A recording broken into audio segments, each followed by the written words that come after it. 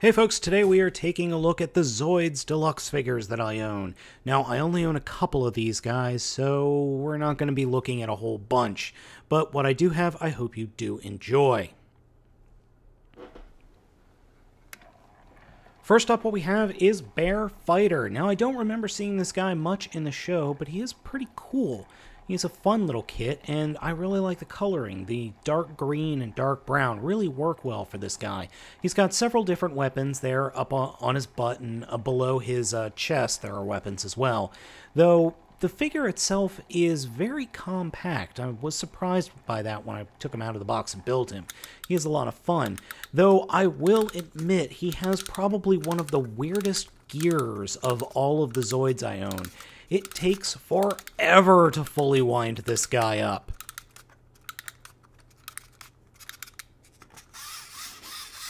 And like a lot of my figures, he wants to turn a certain direction. This one wants to turn left.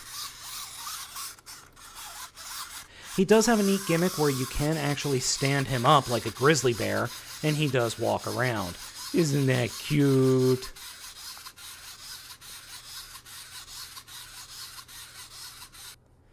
The pilot is mounted in the head of the Zoid, like most Zoids.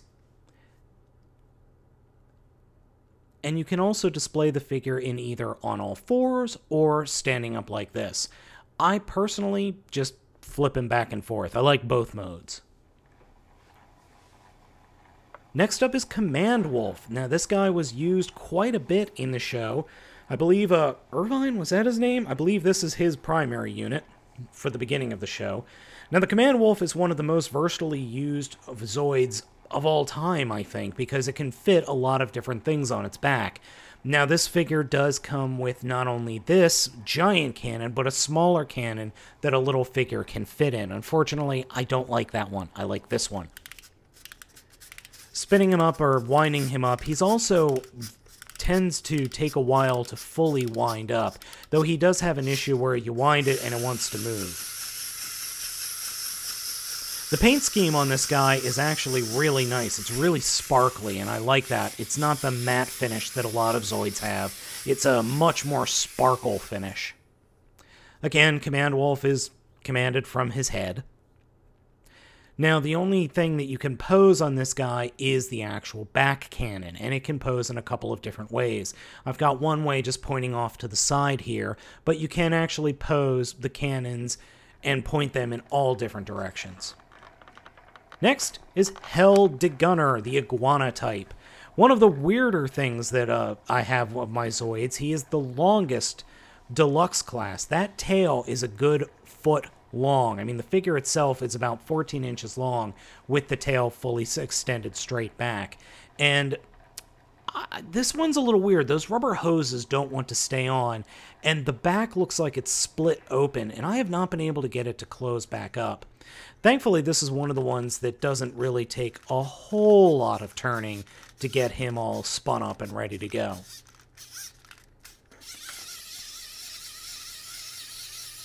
Though for the amount of work that you do, he moves not that far. He really doesn't go that far.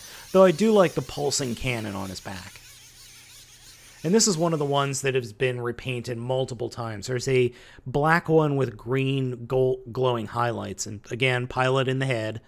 And then there's also another spot for a pilot on the butt.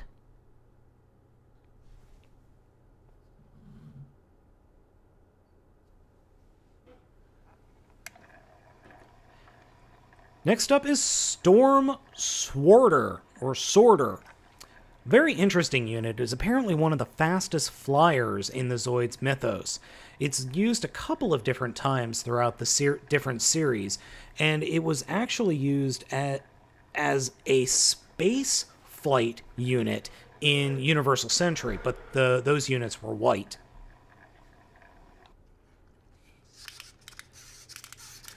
Unfortunately, I don't really care for the flying units or the uh, pterosaur-based units, because once you wind them up, they're not that interesting at all, really, unfortunately. You see, just barely moves, and I have to push him in order to get him to move sometimes, especially on my uh, backdrop.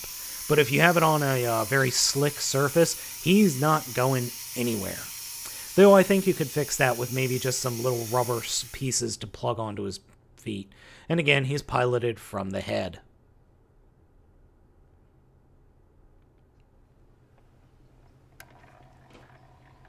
Next up is War Shark, one of the more interesting units, one of the only aquatic Zoid units. Now, in the show, I think it was Universal Century, you actually saw this guy swimming in sand in the desert, which was pretty cool. But hey, it's liquidy ish, right?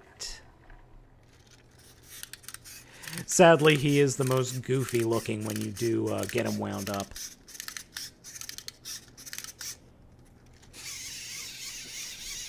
Flipper, flipper, flipper, flipper. Yeah, he, he really doesn't move, but I love the fact that his tail swishes back and forth. That that alone is very, very cool. And actually, he's not really a shark. He looks more like a coelacanth. And, of course, Pilot is in the head, or the very front of the head, anyway. Last up, we are taking at a look at Zabat, or Zobat, as I've also heard. What's really cool with this figure is that he comes with his own stand that he can hang off of. That I really like. I just like the fact that you can store the figure on a stand. I, I appreciate that. Unfortunately, I don't think my figure works all that well because he's supposed to have wing flapping gimmick, or a wing flapping gimmick, with uh, this button on the back, this big red button, but it doesn't work so well. And I think it just, I think it just fell apart or stopped working. I'm going to have to fiddle around with it, take those pins out and see what I can do. His head, he comes with two heads. He comes with the bat head you see here, and you can replace that bat head with a mono Cyclops head that I don't think the ears can plug into. Oh, and he also drops, well, his one gimmick is he drops these little car mine things that once you let it go, whee, whee. Yeah, it has a tendency to just spin out because the wheels don't spin. So I hope you enjoyed this look at my deluxe class Zoids. Next time we'll be taking a look at the mega class Zoids and then Death Saurer. So, catch you guys next time.